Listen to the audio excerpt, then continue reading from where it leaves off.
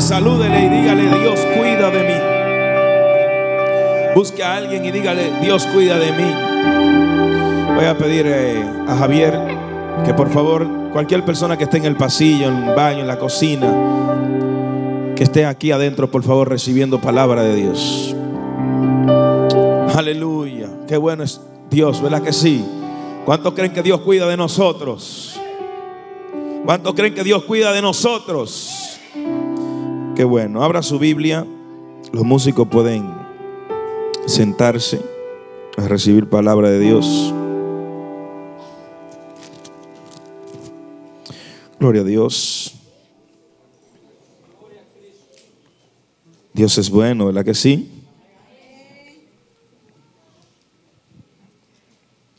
Vamos a seguir dándole continuidad a la poderosa serie acerca de cómo tener madurez espiritual, cómo madurar espiritualmente. Amén. Gloria a Dios. Dios está interesado en que podamos crecer. Amén. ¿Cuánto dicen amén? Qué bueno es Dios. Vamos a ir a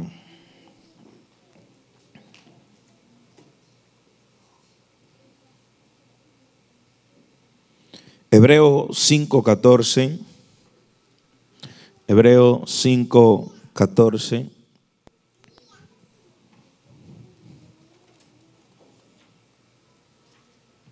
Gloria al Señor. Aleluya. Dios bendiga a cada hermano que se dio cita para estar aquí en la casa de Dios. Aleluya. Hebreo 5:14, vamos a darle continuidad a esta serie poderosa acerca de cómo madurar espiritualmente. Amén. Hemos estado hablando sobre todas estas cosas y pienso que la iglesia cada día más, el cuerpo de Cristo, necesitamos madurar hasta la estatura del varón perfecto que es Cristo Jesús. Amén. Hebreo 5:14. ¿Lo tienen? Hebreo 5:14. Dicen de la manera siguiente, pero el alimento sólido es para los que han alcanzado madurez, para los que por el uso tienen los sentidos ejercitados en el discernimiento del bien y el mal. Vamos a repetir una vez más. Pero el alimento sólido es para los que han alcanzado madurez para los que por el uso tienen los sentidos ejercitados en el discernimiento del bien y el mal. Aleluya. Si usted puede darle una ofrenda de aplauso al Señor y sentarse. Aleluya. Voy a, a solicitar que todos estén aquí dentro, por favor, escuchando la palabra de Dios. No quiero ningún movimiento, a menos que sea un movimiento del Espíritu. Amén. Es el único movimiento que voy a aceptar desde, ahora en adelante, en estos momentos. Los demás movimientos no pueden ser ejecutados. Ahora, si usted siente correr, danzar, usted tiene la libertad. Esta es una casa donde le damos libertad al Espíritu Santo. Amén. Aleluya.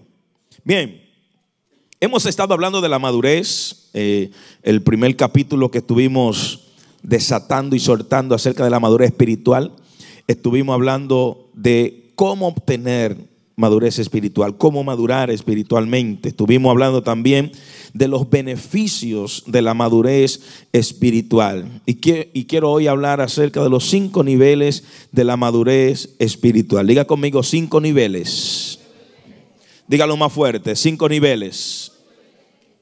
En los cinco niveles usted va a aprender que madurar no es algo de la noche a la mañana, eso lo hemos aprendido, eso lo hemos enseñado.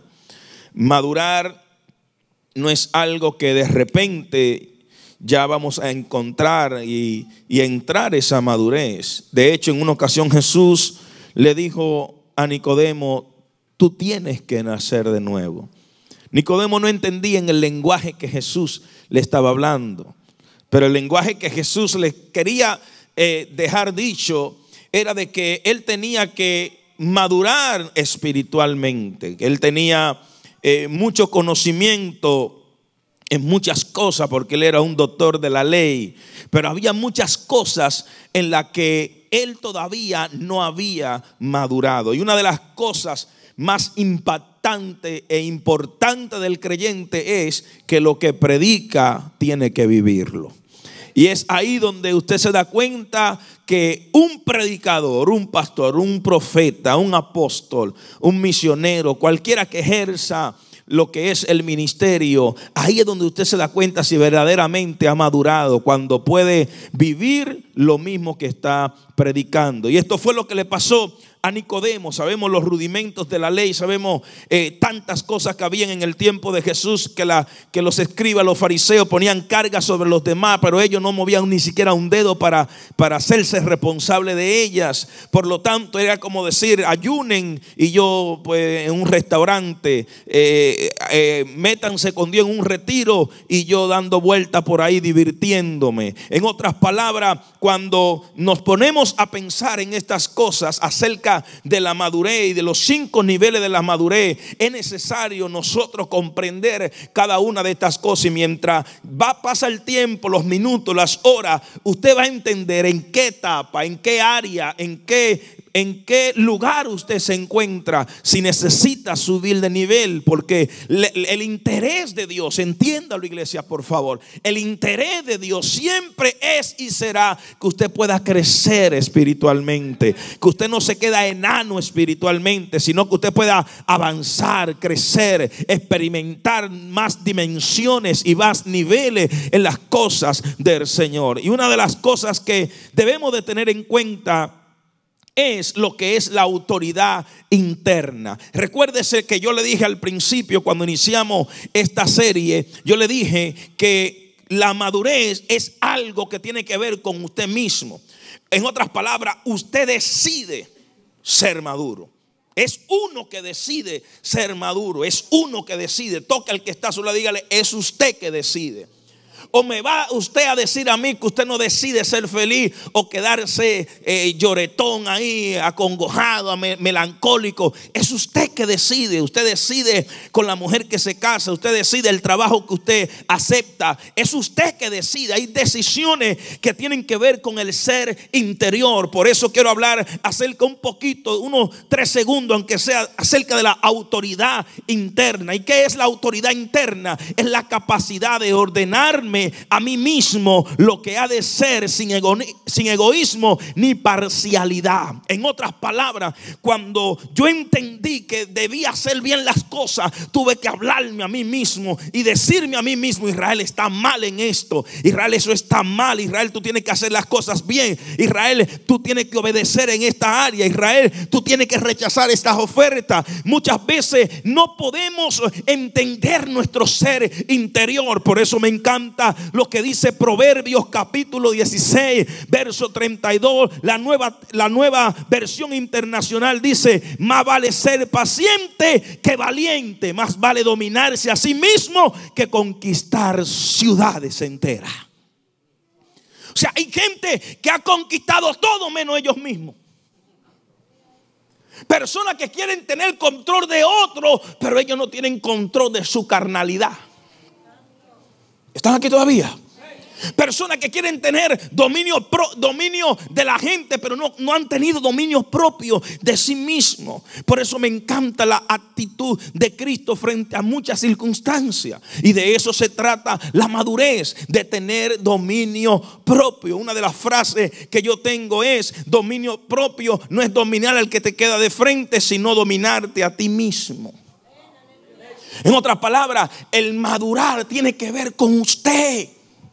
Yo le puedo predicar los mensajes más profundos y más poderosos que lo ponga a volar a usted por los aires, pero depende de usted si usted lo atesora, si usted lo vive, si usted decide cambiar, porque muchas veces danzamos, hablamos en lengua, saltamos y seguimos siendo los mismos creyentes de todo el tiempo. Usted necesita cansarse de estar cansado. Usted necesita dejar de seguir siendo el mismo creyente, beber que lo carguen. Usted tiene que entender este principio. Aprenda a conocerse a sí mismo y autorizarse a sí mismo. Tienes que obedecer. Tienes que entender lo que tiene que someterte. Tienes que entender lo que tiene que ir a la casa de Dios. Tienes que entenderlo que tiene que ser paciente. Tiene que entender que no puedes tomar decisiones así a la ligera. Mientras usted se conoce a sí mismo, usted va a tomar las mejores decisiones frente a cualquier circunstancia. Dele un aplauso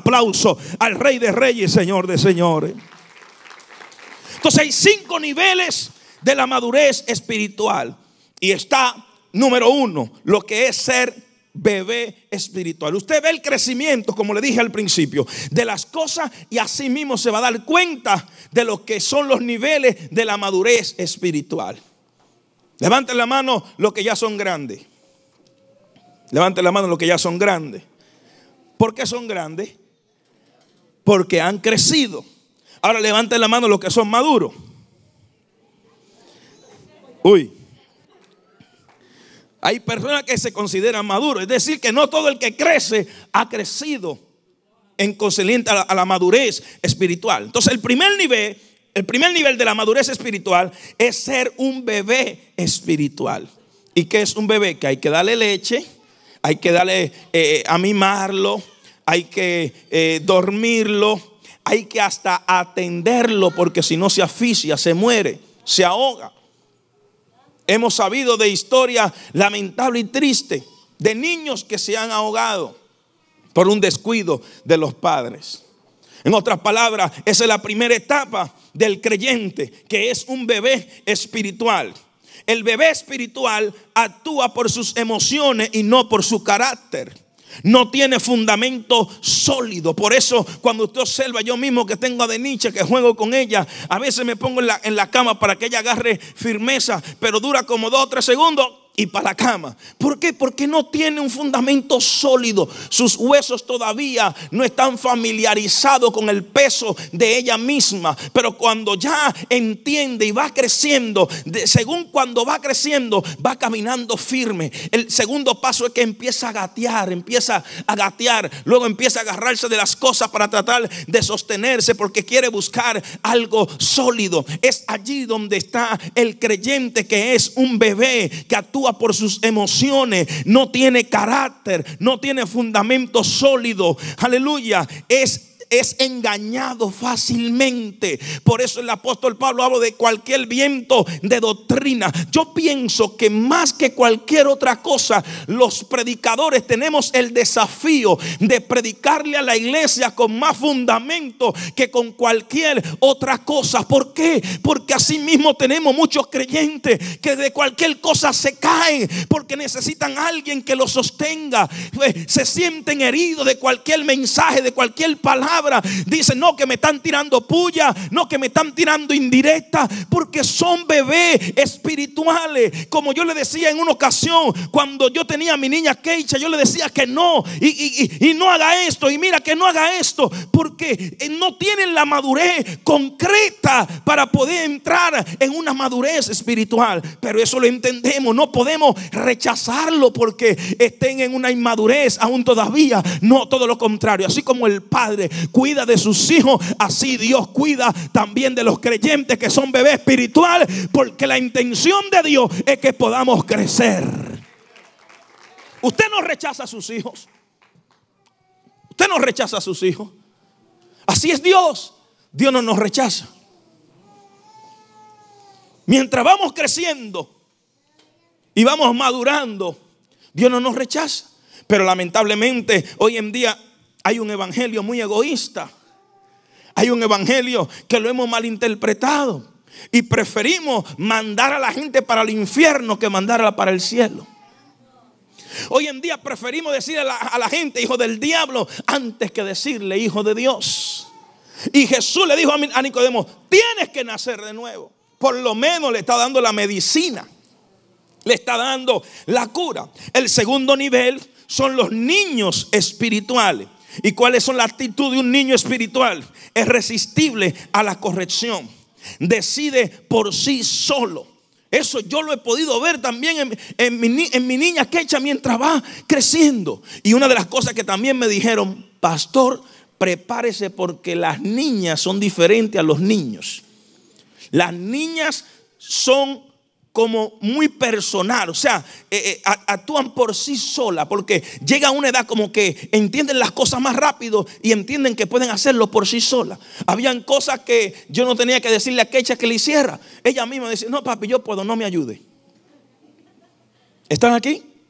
Y así hay creyentes en la iglesia que cuando son niños espirituales, ellos deciden por sí solos, no requieren ayuda de nadie, ellos creen que pueden hacer las cosas solas. Eso sí que cuando tropiezan y se caen, como lo ha pasado con mi hija Keisha, que cuando ella no puede abrir un juguete o no puede abrir algo, dice, papi, ábrelo, please. ¿Y qué pasó? No puedo.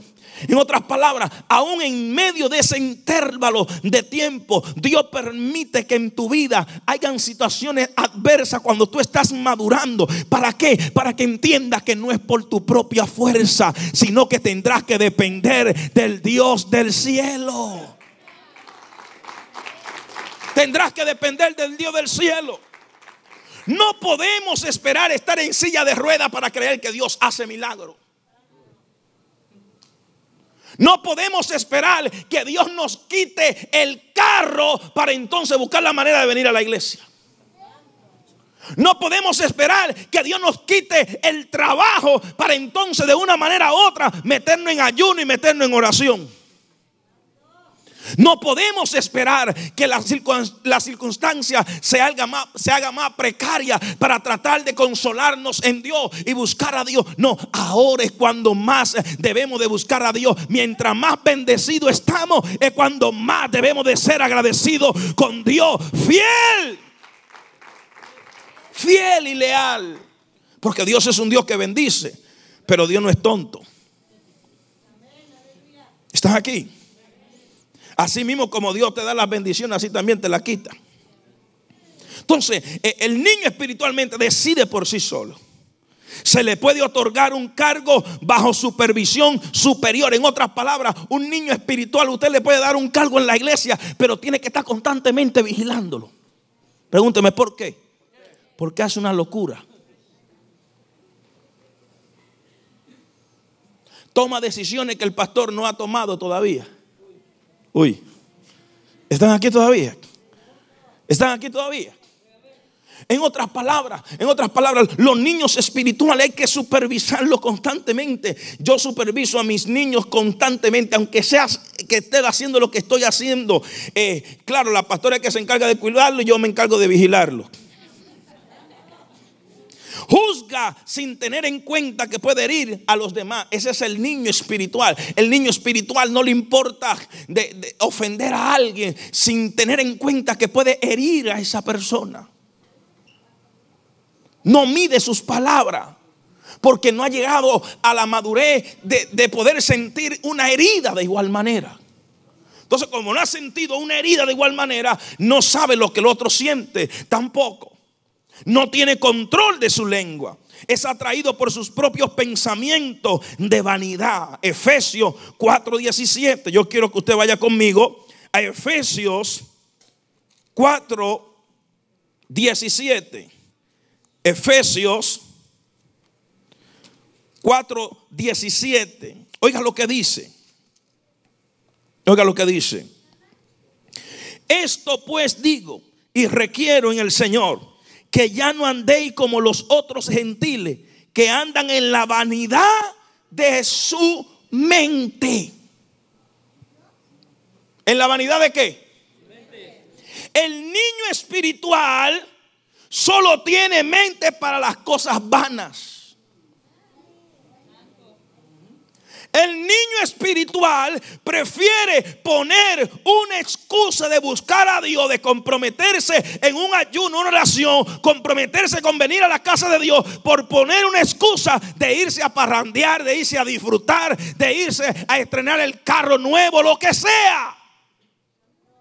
El niño espiritual, la mente de esa persona siempre es vanidad. Como hay miembros en las iglesias que todos los fines de semana están de vacaciones. ¿Están aquí? No quieren compromiso con Dios. No quieren compromiso con la obra de Dios. Y qué bueno que estamos en vivo, porque así la gente se da cuenta que aquí en esta iglesia también formamos la iglesia. No solamente es palabras profundas, que, que hay mucha algarabía y todo eso es bueno, porque esto es una casa de rema, que la revelación de Dios fluye y levita en los aires para reposar en esta casa. Pero aquí entendemos un principio, que somos gente comprometedora con la presencia de Dios, con Dios, con la obra, con la casa, con la visión.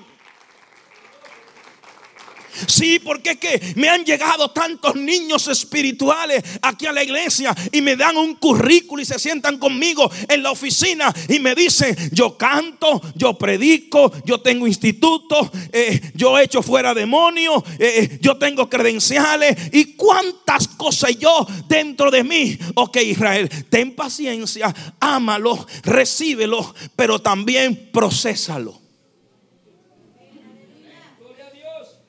Pero es ahí donde la gente no quiere entrar en el proceso. Porque piensa que darle la posición a un niño espiritual, eso es un riesgo. Pregúnteme, ¿por qué? Porque si le das una pistola a tu hijo, lo primero que va a hacer es que te va a disparar de frente. Si le das una cartera, una billetera a tu hijo que quizás no tenga mucho conocimiento, vas al baño a bañarte y cuando viene los billetes de 100 rotos porque piensan que son, eh, eh, ¿cómo se llaman estos juegos de, rompecabezas? Eh, ¿Están aquí todavía? A mí me pasó una vez que dejé la billetera mal puesta y cuando llegué después de, de unos minutos encontré los ID por aquí, la licencia por aquí, los 100 dólares por ahí ya rotos, como que te estoy hablando de algo que yo he vivido personalmente. En otras palabras, tú no le puedes entregar una posición a un niño espiritual porque te va a hacer un desorden. En otras palabras, la gente que Dios posiciona son la gente que primero lo procesa, lo madura. Alguien dice amén aquí, por favor. Dios nunca te va a entregar un nivel de unción hasta que tu nivel de madurez espiritual esté a la altura de la responsabilidad de lo que Dios va a hacer contigo. Mm. Le das una pistola a un niño y te mata. Piensa que es una película. Le das una billetera y te la rompe. Dale el guía. Tú tienes fe, dale el guía de tu carro a un niño. Y lo primero que va a hacer es esto. Yo creo que ni el camarógrafo me pudo agarrar ahí. Entonces, ese es el reto de las iglesias. Por eso mucha gente se congregan en las iglesias de unción, de fuego, de, presencia. Y la gente nos ve en vivo y ve los milagros y ve las señales. Y después cuando vienen aquí que se sientan conmigo, piensan que le va a ser fácil. Aquí hay que pagar un precio. Porque aquí hay gente que ha pagado un precio. Un precio de sometimiento, un precio de obediencia, un precio de entrega. ¿Están aquí todavía? Diga conmigo amén. Diga conmigo amén si está vivo.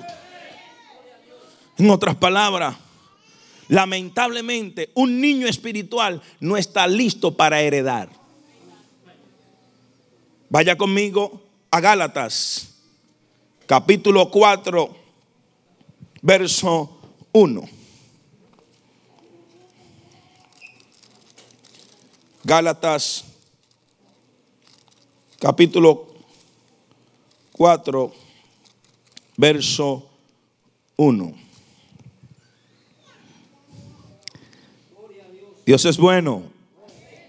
A mí me gusta dar Biblia porque es que hay personas que si tú no le das Biblia no creen lo que tú estás diciendo. Están aquí. Gálatas 4.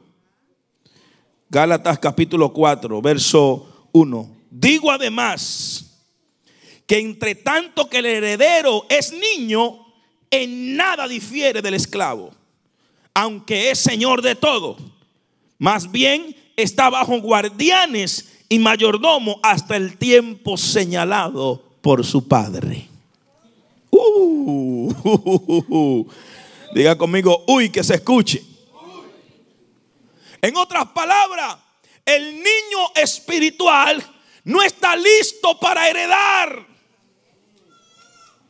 ¿Cuántas veces hemos visto en la Biblia que hubieron hombres, reyes, que lo entregaron todo? Construyeron arca, construyeron templo.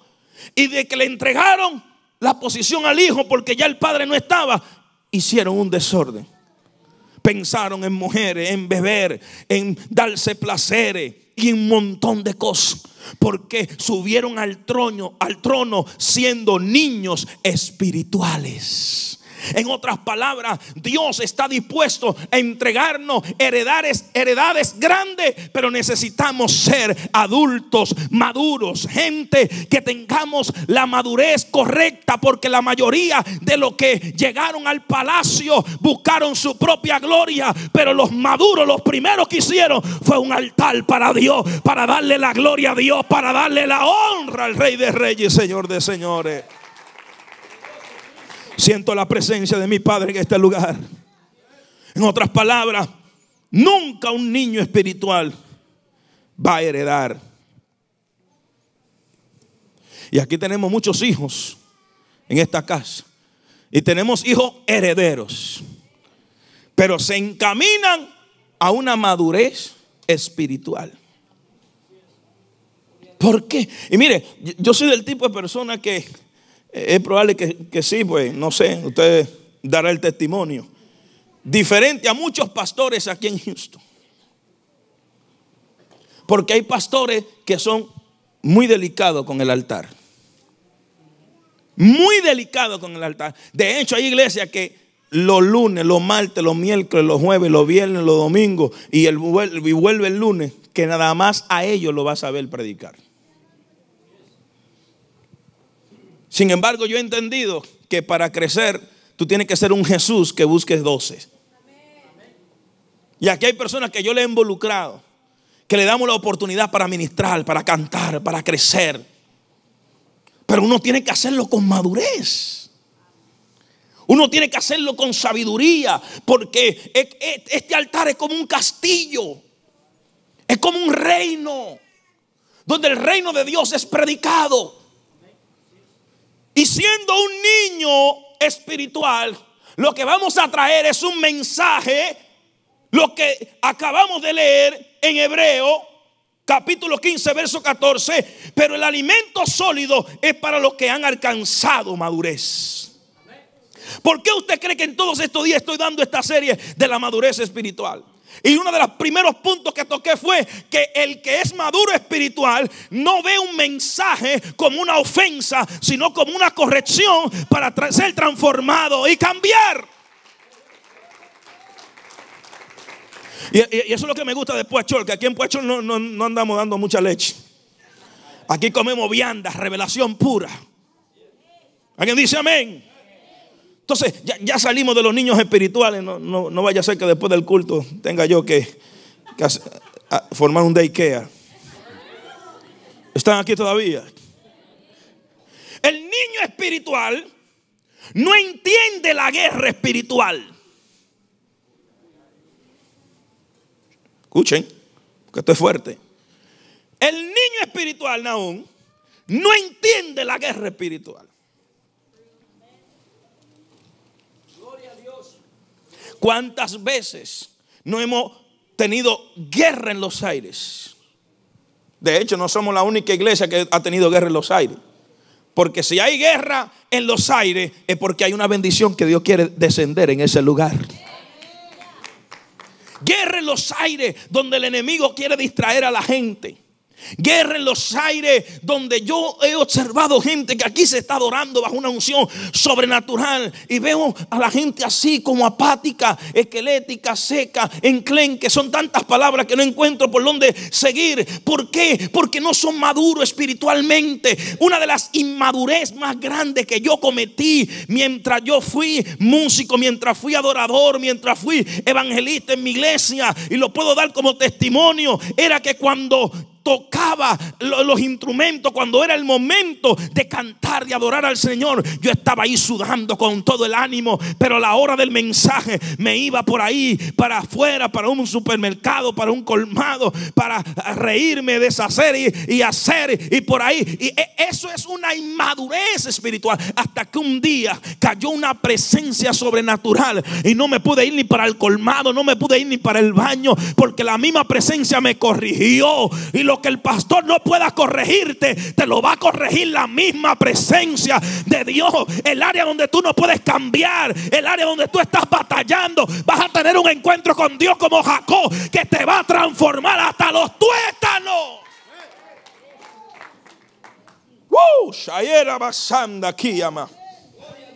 Hasta que después de ese día, ay, ay, ay, ay, ay, ay.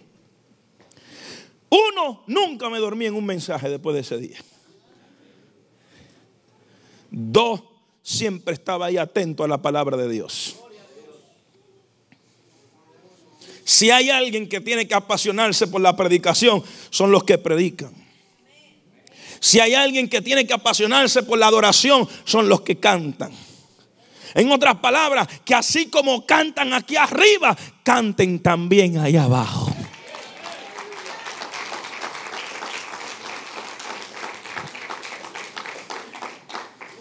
Entonces, el niño espiritual no entiende la guerra espiritual.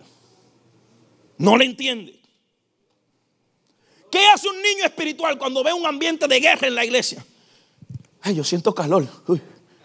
Como que le da como que la medio pausa por adelantado.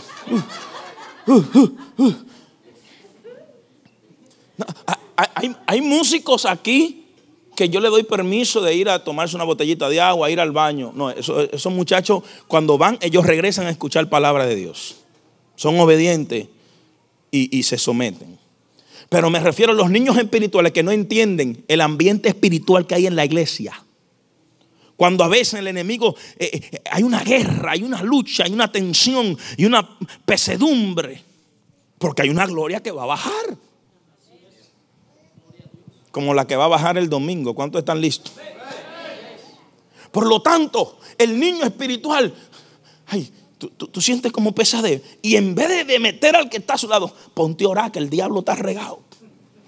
Ponte a clamar, echa fuera los demonios, empieza a reprender. Ora Dios, tú no has escuchado tanta prédica del pastor, pues ponle en práctica. Es ahora que hay que ponerle en práctica. Pero el niño espiritual dice, ay, no, no, no, yo me voy para la casa. Yo, ay, no, no, no, no, no. En mi casa yo estaba mejor con aire acondicionado. Yo prefiero estar en la casa de Dios con calor que estar en el infierno con aire.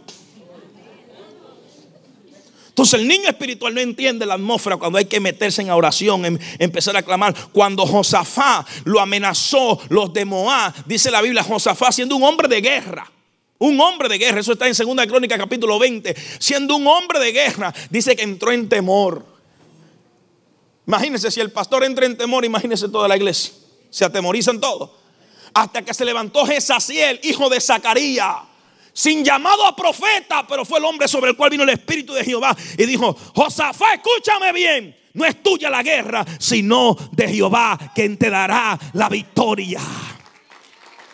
Sí, porque muchas veces el niño espiritual empieza a decir, eso es que hay alguien pecado, eso es que hay alguien que está mal. Y muchas veces es que el diablo quiere robarnos la bendición. Pero los maduros espirituales dicen, de aquí no me voy yo hasta que el ángel me bendiga. De aquí no me voy yo hasta que la presencia de Dios me toque. Los maduros espirituales hacen guerra espiritual hasta que la gloria descienda hasta que la gloria descienda. El niño espiritual siempre busca resolver las cosas con su propia fuerza.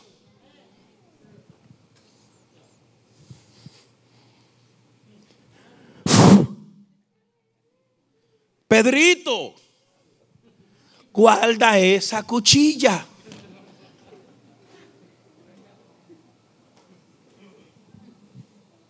Si un hermanito te en falta, Pedrito saca la cuchilla. Pastor, sácalo de la iglesia.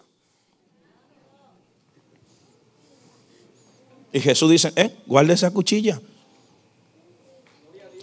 El que es maduro espiritual espera ver lo que Jesús va a hacer. No hay necesidad de cuchilla cuando el rey que creó todas las cosas le dice a Pedro, ¿acaso no puedo yo pedir a mi padre que mande 12 legiones de ángeles? De hecho, esos ángeles ya estaban preparados. Porque Jesús en el desierto, cuando dice la Biblia que el diablo lo dejó, vinieron los ángeles y le adoraban y le servían. En otras palabras, los ángeles no estaban preparados para adorar a Satanás, estaban preparados para adorar al Rey de Reyes y Señor de Señores. En otras palabras, no actúes por tu propia fuerza. Espera la manifestación de Dios. Estás teniendo guerra en tu casa, en tu trabajo, en la familia, a tu alrededor, en la atmósfera, en la iglesia. Tranquilo, no saque la cuchilla. Por eso que los niños espirituales tratan de defenderse a ellos mismos. Cuánta gente en la internet, en las redes sociales, me dicen brujo, me dicen falso profeta, me dicen ladrón, me dicen mentiroso. Pero el Espíritu Santo me dice, no te atrevas a sacar la cuchilla porque no es con tu fuerza, dice Jehová. Dios es quien te defiende. Dios pondrá tu testimonio en alto. Mientras más te acuse, más promoción Dios te va a dar.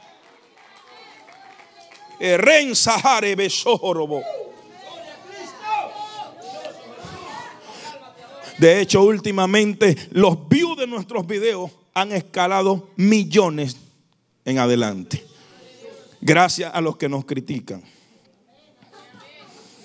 ¿Están aquí todavía? Dile al que está a tu lado, no saque la cuchilla. Hay gente que a veces tienen problemas con un hermano de la iglesia y lo primero que piensa, hay que llevarlo a la corte. Uy, le voy a llamar a la policía. ¿Y dónde está la madurez espiritual? El niño espiritual siempre piensa hacerte daño. Y si hay algo que he visto en Jesús, de hecho el domingo voy a hablar acerca de, la, de Jesús y la madurez. Tengo algo muy fuerte y muy profundo. El domingo corremos, hoy no, hoy vamos a correr sentado. No sé cómo, pero sentado. Entonces el niño espiritual se defiende con cuchilla.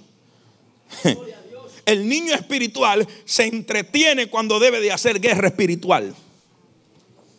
David, ¿qué tú haces con paseándote en la terraza mirando cosas que no debe de ver? Mirando a la reina del sur cuando está en el norte. ¿Están aquí todavía? Y David compaseándose mirando y observando porque los niños espirituales ponen excusa para no ir a la iglesia a ver la presencia de Dios, pero cuando usted llega a la casa de repente lo encuentra con un pie así y el otro no sé para dónde conectado en el Facebook, en el Instagram, en YouTube. Y, entonces buscan para ver algo en vez de ir a la iglesia a ver la presencia de Dios. Los niños espirituales ponen excusa y las excusas se convierten en mentiras. Los niños espirituales se entretienen. Está bien. Los niños espirituales se entretienen cuando deberían de ir a la guerra, hacer guerra espiritual. Toca al que está a tu lado y dile que nada te entretenga. Vamos, dígaselo en serio. Ya 10 minutos y termino. Dígale que nada te entretenga.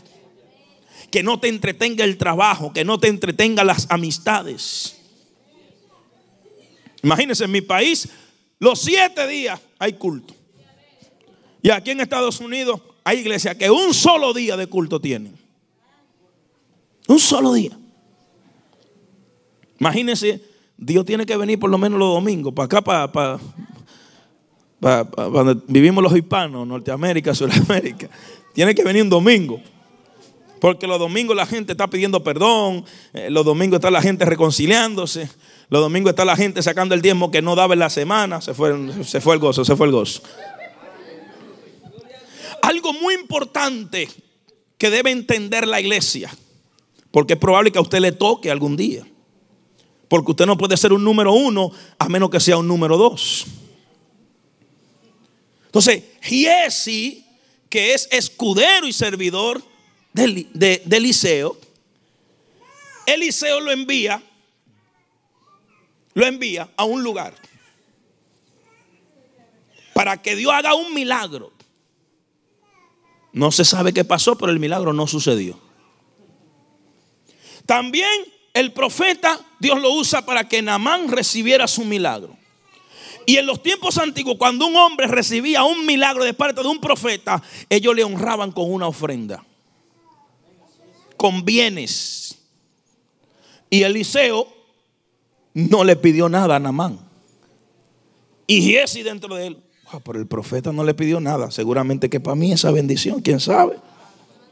Y cuando Namán se va, Jesse le cayó atrás. Diga conmigo, error. Los niños espirituales se adelantan a su padre espiritual. Los que son maduros espiritualmente esperan que si su padre espiritual da el paso con la derecha, ellos también lo dan con la derecha. Mire, José que evangelista de la casa y es mi escudero y me lo he llevado a otros lugares a predicar. Él ha estado conmigo ahí. Y si yo pido lechuga, si yo pido pollo, yo no lo obligo a él a comer lo mismo que yo. José, tú puedes pedir lo que tú quieras. Pero José me sorprende. Deme lo mismo que el pastor. José, ¿y por qué tú estás pidiendo lo mismo que yo? Pastor, si usted vive, yo vivo. Y si usted muere, yo muero.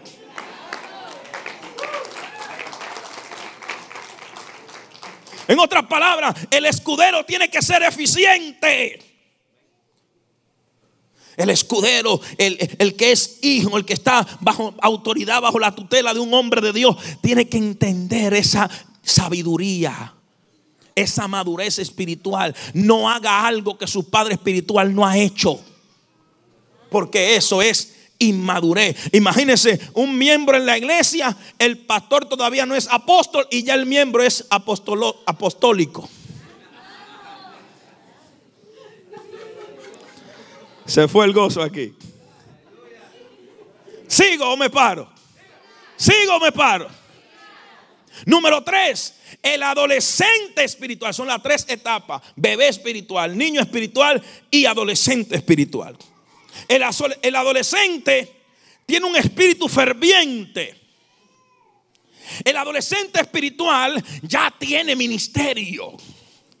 El adolescente espiritual ya se ve con la finalidad y con el compromiso de poder ejercer su llamado. Pero hay muchas cosas e inmaduras que contiene el adolescente espiritual. Número uno, tiene espíritu de independencia personal.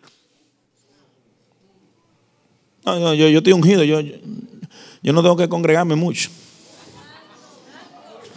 Yo no tengo que visitar la iglesia, a mí Dios me visita en la casa donde yo estoy. ¿Están aquí todavía? El adolescente lamentablemente se convierte en piedra de tropiezo fácilmente. Sí, porque como el adolescente la gente sabe que tiene llamado, que tiene un don, la gente se va a acercar a él. Se va a acercar a ella. ¿Y qué pasa? No le da el consejo con la madurez del pastor. Entonces lo que hace es que desvía la iglesia, divide la iglesia. El adolescente espiritual se aferra a sus dones para justificarse. Pide posición que no se le ha, que no se le ha sido asignada. Y entre los discípulos lo podemos ver eso. Lo podemos ver entre los discípulos. Porque la madre de, creo que de Santiago y de Juan, le dijeron a Jesús, Maestro, ¿qué te parece si en tu reino tú pones a uno a la derecha y otro a la izquierda? Y Jesús reprendió esa actitud. Eso a mí no me toca darlo, sino al Padre que está en los cielos. Diga, conmigo el que todo lo ve. En otras palabras, si usted no da fruto, usted no se sienta ni a la diestra, ni, a ni, en la, ni en la parte de atrás usted se sienta si usted no da fruto. ¿Están aquí todavía? ¿Están aquí todavía? En otras palabras, buscan posición. Por eso yo celebro mucho que hay personas que han venido a, esta iglesia de otros estados, de otros países. Y lo primero por lo que preguntan cuando llega, hay escuela de formación. Quiero ingresarme a esa escuela de formación. Quiero inscribirme a esa escuela de formación. Y digo dentro de mí, en mi espíritu, este anda por buen camino. Porque todo aquel que se adhiere a una visión tiene que entender que tiene que ser formado. ¿Están aquí todavía? ¿Sigo o me paro? ¿Sigo o me paro? ¿Cuántos minutos faltan para las nueve? Ya, ya nos vamos. En otras palabras, pide posición que no se le ha sido asignada. Tiene mucho talento, pero no le gusta trabajar en equipo. Se le manda a hacer una cosa y ellos hacen otra. En ocasiones son los que dividen la iglesia. Crea su propio Dios y termina criticando a su líder cuando éste no le da la razón o cuando éste no está. ¿Quién hizo un becerro de oro? ¿Quién hizo un becerro de oro? ¿Quién lo hizo? ¿Quién lo hizo? Aarón. ¿Por qué? Porque Moisés, ¿a dónde estaba? Buscando las leyes para dirigir al pueblo. Entonces hay gente que se desespera y critican. Aquí hay una visión, aquí hay un proyecto de, de, comprar nuestro propio templo, pero no va a ser en el tiempo de nosotros, va a ser en el tiempo de Dios. Seguimos llenando el granero, pero es cuando Dios diga. Es cuando Dios dice. Entonces hay que aprender a tener paciencia. Cuando el hombre de Dios no está, que en mi caso soy yo, la pastora, los padres espirituales de esta casa. Cuando nosotros estamos predicando, ejerciendo el llamado profético en otro país, en otra nación, es cuando más fiel usted tiene que estar. Y de hecho, cuando yo regrese, no quiero ver becerro de oro, porque si veo becerro de oro, le lanzo la tabla encima para que lo alaba Dios si puede que esta hora. Necesito una iglesia apasionada, posicionada en la madurez espiritual que pueda ser asignada a llevar a un pueblo a la salvación que es Cristo Jesús. Uh, Alguien dice amén. Toca el que está a tu lado y dile, no quiero nada con becerro de oro, no quiero nada. Dígale, dígale, ni con plata, ni con, plata, ni con golfil, nada de eso. Ya termino, ya termino, ya termino. El adulto espiritual mantiene la calma cuando todo está en su contra. Toma decisiones con sabiduría cuando está bajo presión. No hace caso a las críticas. Toma decisiones consultando siempre con su padre espiritual. Ha muerto a los, a los y a los aplausos de la gente. No divide, sino que suma gente a la iglesia. Lleva mucho fruto, honra siempre a sus líderes. Y siempre este va a ir de crecimiento en crecimiento. Dale un aplauso al Señor. El domingo seguimos con el que es maduro espiritualmente. Y el maduro es el que se parece a Cristo Jesús. ¿Cuánto quieren parecerse a Cristo? Denle ese aplauso al Señor y póngase de pie y celebre conmigo. Aleluya, tiempo de madurar espiritualmente. El diablo, los demonios le temen a alguien que ha madurado espiritualmente porque la unción que carga cuando echa fuera un demonio nunca se atribuye la gloria, sino que siempre le da la gloria al Rey de Reyes y Señor de Señores.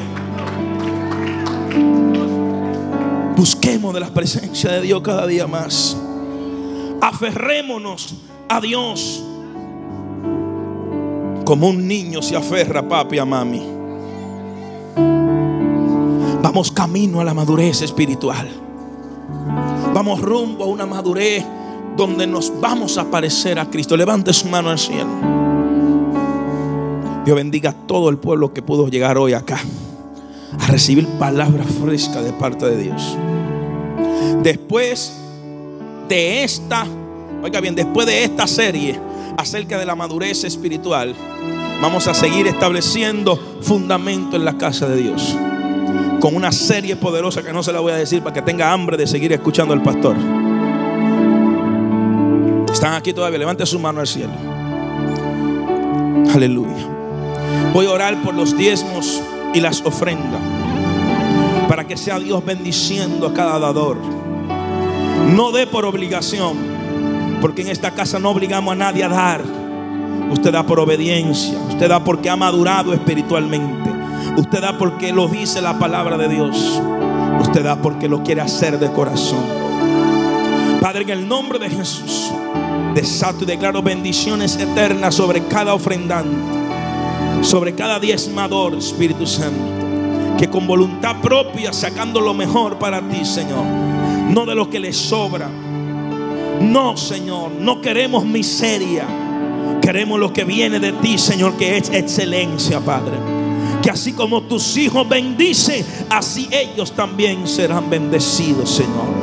Porque lo que el hombre siembra, eso cosecha de igual manera. Glorifícate, Padre. Lo creo, lo recibo y mis ojos lo verán. En el nombre de Jesús. Amén y amén.